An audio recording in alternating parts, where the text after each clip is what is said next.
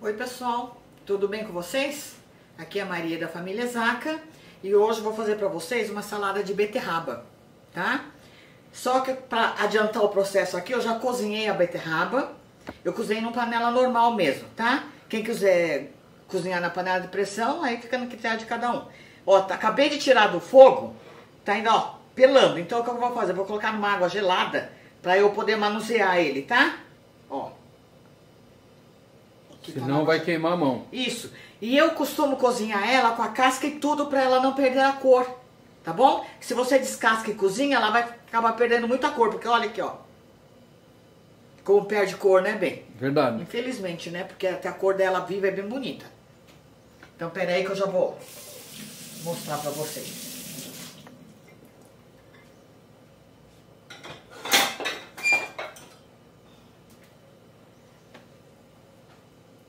Agora, o que, que eu vou fazer? Eu vou descascar, tá? E vou cortar para fazer a salada. Então, já vou pegar a vasilha que eu vou pôr a salada. Tá aqui do lado. Vou colocar uma tábua aqui também para cortar. Isso aqui dá até para vocês fazerem isso aqui, tá vendo? Ó. Sai facinho, facinho, ó. Por isso que coloca na água gelada, senão você ia queimar a mão. isso. Ó. E a parte que tá mais grosseira, daí vocês passam a faca para ficar bonitinho, tá? Ó. Isso tinge tudo. Tira biquinho. Tá vendo? Olha, ficou bonitinho já, né, bem? Verdade. Vou colocar aqui que eu vou cortar. Aqui a outra, ó. Viu como é fácil?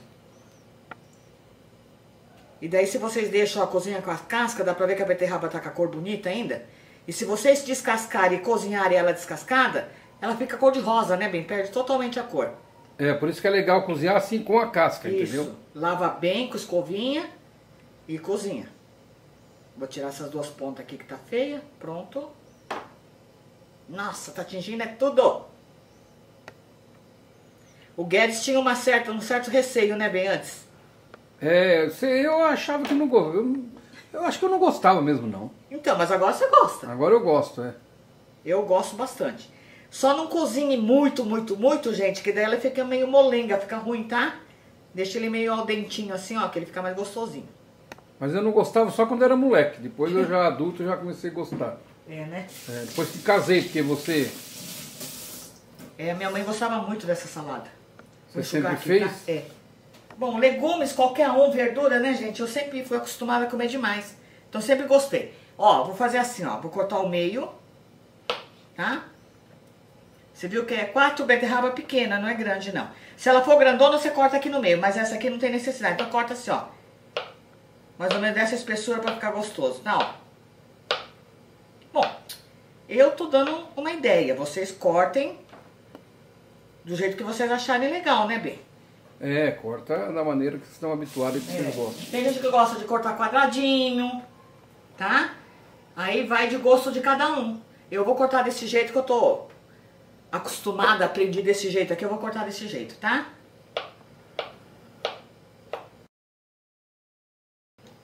Nossa, olha que cor bonita, gente.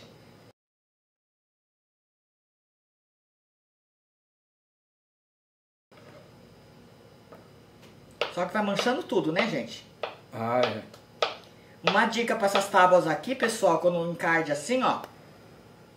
Melhor coisa Melhor, é... É colocar na cândida mesmo, tá? Deixar de molho. Põe no tanque água e água sanitária, né? Isso. Clareia tudo rapidinho.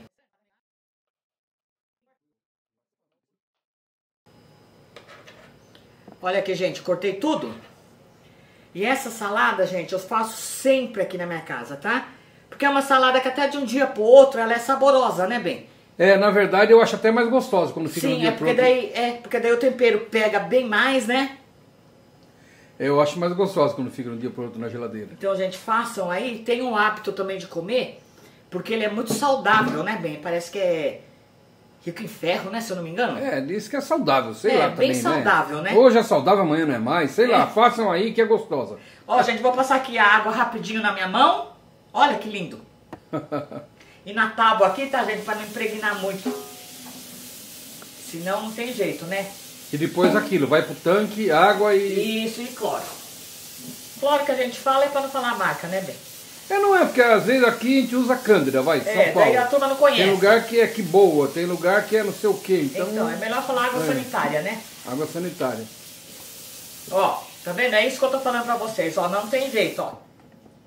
Não sai, tá vendo? Já ficou. É. Então, o que que vocês fazem? Vocês deitam a tábua assim, ó. Pega água sanitária pura e joga assim aqui e deixa um pouquinho. Num minutinho ele sai, tá? Ó, eu dando dica de limpeza, né? Às vezes, passe louca, né? É, mas às vezes a pessoa não sabe dessa dica de tábua de carne aí. Ó, aí, gente, é bem simples. Aqui, olha, eu já cortei a cebola em meia lua, deixei de molho na água com sal, tá? Pra tirar aquele ardidinho, tá bom? Ó, tá? Agora o que eu vou fazer? Eu vou escorrer essa água bem, enxugar ela bem e volto aqui, tá? Ó, só vou escorrer aqui. Vou colocar aqui na salada. A quantidade fica a critério de vocês, tá? Que a gente aqui gosta de bastante cebola, né, bem? Ah, eu adoro cebola. Então, vou colocar uma cebola. Todo mundo, eu, você, as meninas, É, né? todo mundo aqui gosta. Só que a gente não aguenta comer ela sem tirar esse ardor, né, bem? É, na Tem- verdade, quem gosta mais de cebola crua aqui, eu acho que sou eu. Será, bem? Eu também gosto, hein? Mas por mim eu faço salada de cebola crua, só cebola. É, a gente, inclusive a gente já fez um canal, né, gente? Isso. Que a gente gosta pra caramba. Deixa eu tirar aqui. Olha. Agora aqui eu tenho alho. Vocês coloquem um dentinho de alho, tá? Olha. Só pra dar um saborzinho. E cheiro verde de salsinha com cebolinha, tá? Isso é pra dar um frescorzinho e um verdinho. É. Pra ficar coloridinho, né, gente? É, porque é um prato bonito. Sim. Pronto. Quantidade também a critério de cada um. Agora é só temperar. Agora é temperar, tá? O tempero também vai de gosto de cada um. Eu vou temperar bem comum. É, vinagre, azeite, sal e aginomoto, tá bom? Então vamos lá? Pegar o vinagre aqui, o aginomoto. O sal. E o azeite, tá? Então vamos lá. Vou colocar o azeite, ou o vinagre. Não coloque muito. Eu não gosto de salada muito azeda. Vou colocar aqui o adinomoto.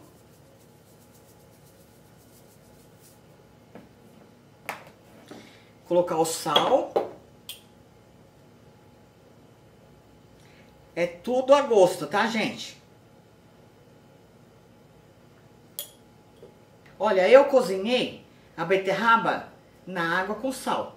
Então eu tô pondo menos sal aqui, tá bom? E agora vamos pôr o azeite.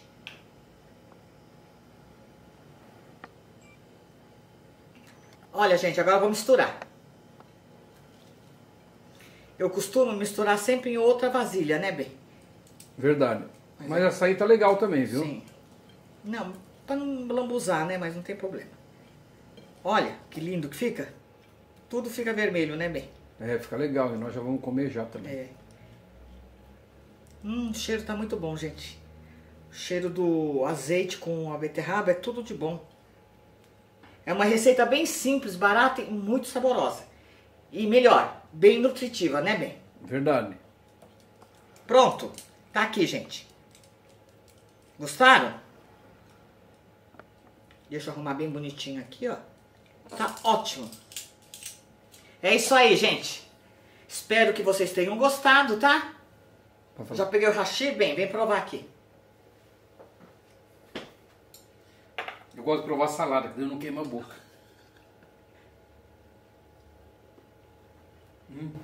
Tá no ponto, né? Deixa eu pegar a cebola.